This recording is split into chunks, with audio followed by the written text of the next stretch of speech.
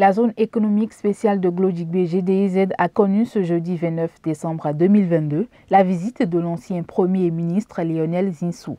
Reçu par le directeur général de la Société d'investissement et de promotion de l'industrie Sipi Beneessa, Letondi Béton, qui lui a fait découvrir la zone, l'invité de marque en sort impressionné et fier. C'est le citoyen béninois hein, qui est venu visiter euh, la zone industrielle et qui en repart très très impressionné. Très impressionné parce que les choses sont allées vite. Très impressionné parce que, en fait, ce sera la plus grande en Afrique de l'Ouest. Très impressionné parce que j'ai vu, il y a des années déjà, euh, fonctionner à Libreville, euh, dans le domaine des industries du bois, quelque chose que j'avais trouvé très réussi.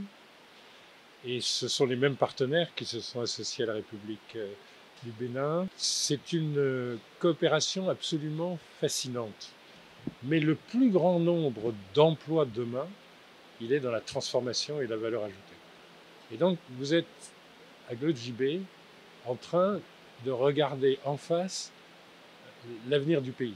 Et vous comprenez qu'il n'est pas dans 20 ans, il est l'an prochain. Pour Lionel Zinsou, la zone économique spéciale de Glodipé est un projet à soutenir car pour un économiste ou un financier, c'est un modèle de développement qui est mis en place. Si on peut contribuer à persuader les investisseurs qu'avec l'énergie la moins chère d'Afrique de l'Ouest, compétitive avec les pays industriels les plus compétitifs, avec une main-d'œuvre qui, en six mois de formation, atteint le niveau d'efficacité que parfois on doit euh, mettre trois ans euh, à créer. Euh, il y a là des éléments d'attractivité avec des éléments fiscaux, des encouragements, etc. L'économiste, il est content de voir un modèle de développement qui enfin se met en place. tout économiste est content de voir ça de ses yeux. Et tout financier a la responsabilité de convaincre le plus de financiers et d'industriels possible tout le monde est à la recherche d'un modèle de développement.